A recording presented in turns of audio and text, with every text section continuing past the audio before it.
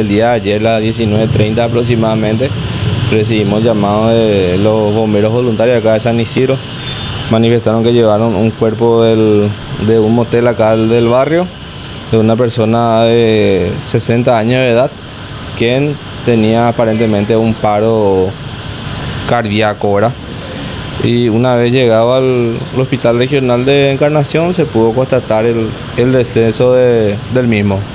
¿Cómo, ¿Cómo se da el hecho en sí para que los administradores eh, de esta casa den aviso a los bomberos?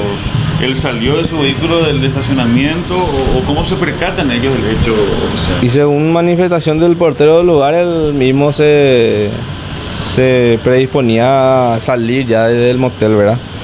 Y casi a, mitad del camino de la salida principal del lugar fue donde eh, paró, detuvo nuevamente la marcha, lo que llamó la atención del mismo, ¿verdad? Y el acompañante solicitó ayuda al, portero, quien fue el que dio aviso a los bomberos de que el señor se, sentía mal todavía en ese momento, ¿verdad? Pero ya una vez llegado al, hospital regional, se pudo constatar que ya se encontraba sin signo de vida. Eh, la posible causa de muerte oficial se dice que son varios, paros, paros múltiples en este caso. Sí, la, el diagnóstico que fue eh, expuesto por el médico era de infarto agudo del miocardio, fue su, su resultado final.